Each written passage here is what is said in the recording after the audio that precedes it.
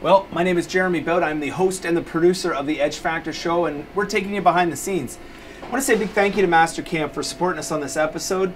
You guys are playing a pivotal role in this particular sequence. We have got, as you can see, a pedal on the screen, along with DJ, one of the owners of Straitline Components.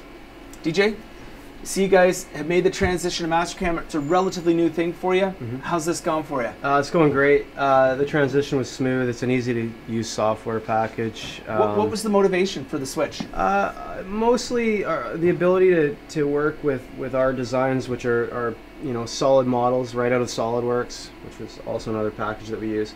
Uh, we want to take these designs and solid models and translate them directly into uh, a CAM software package that can handle them nicely and you know some I know that you have a lot of diverse machines on the floor.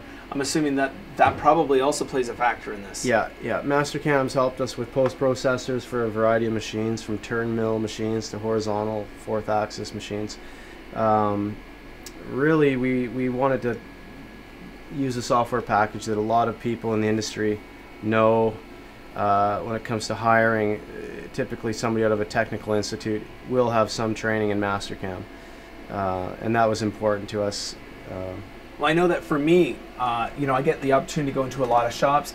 Almost every single place that I've been to actually is running Mastercam. So we're very excited to be partnering with you guys.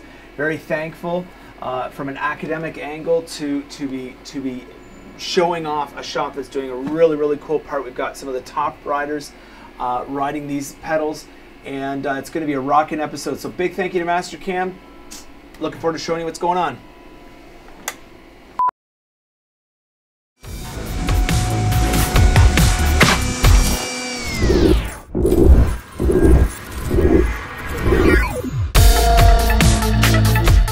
A whole lot of the work of manufacturing isn't done with hardware, it's done with software. People have heard of CAD, computer aided design, which is how Straitline invents its products. Well, next comes CAM, computer aided manufacturing.